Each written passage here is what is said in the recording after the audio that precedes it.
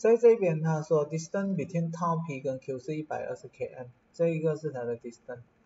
一辆罗里，它在早上十点出发，从 P 去 Q，然后它的 speed 是八十，他问他几点会到达 Q，然后我们知道这样的一个关系，那这一边，那这个是 dst，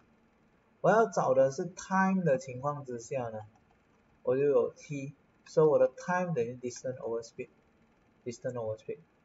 当然你也可以用 speed 等于 distance over time，然后 speed 乘 time 等于 distance，time 等于 distance over speed 这样的一种方式来记。然后我的 distance 是一百二十，我的 speed 是八十，